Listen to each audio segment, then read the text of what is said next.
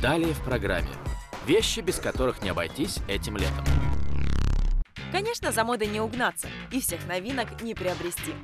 Но есть несколько вещей, без которых уж точно не обойтись в этом сезоне. Неважно, от каких дизайнеров они будут, важно то, какими они будут. Список этих вещей открывают крупные украшения, желательно в этническом стиле.